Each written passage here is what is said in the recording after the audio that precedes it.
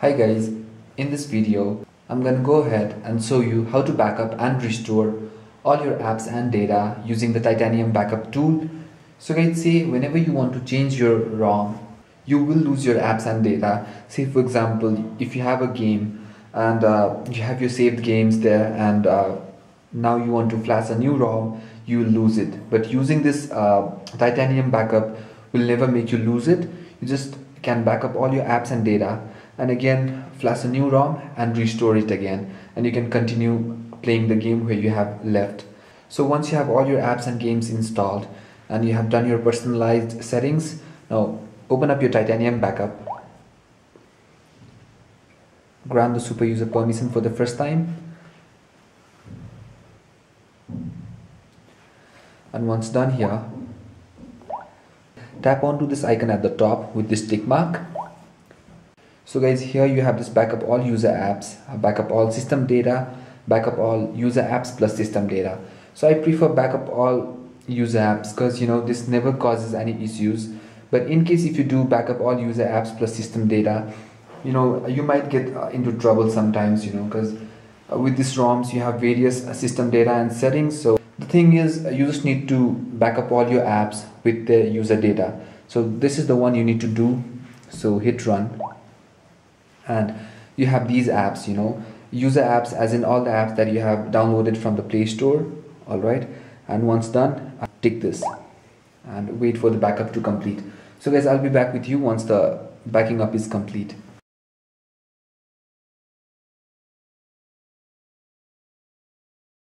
So the backup have been complete now and you'll get this notification that the batch backup finished. Now you can just uh, go back and you can just reset your phone. Okay. Let me just do it for you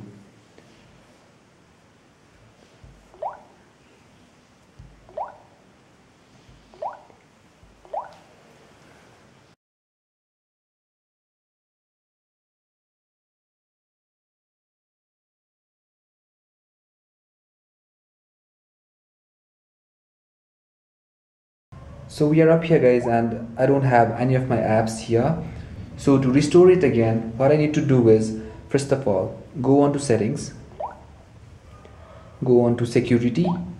Enable unknown sources. Okay. And you will see under my files you'll have this in your internal memory. You'll have this titanium backup folder.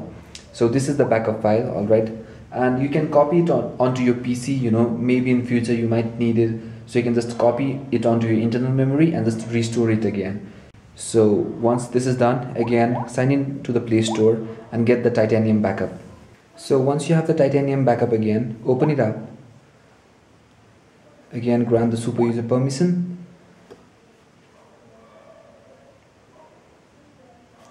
And now again tap onto this icon at the top and this time scroll down. Go on to this restore section. Here you'll have this restore missing apps with data. So this is the one you need to do and hit run and click onto this tick mark. So all the user apps will be installed now as in will be backed up now. You need to do this manual installation step by step for each app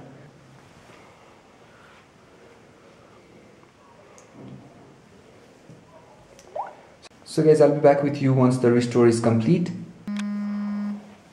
So guys the restore is complete now. Alright you just need to go back and just reboot your phone.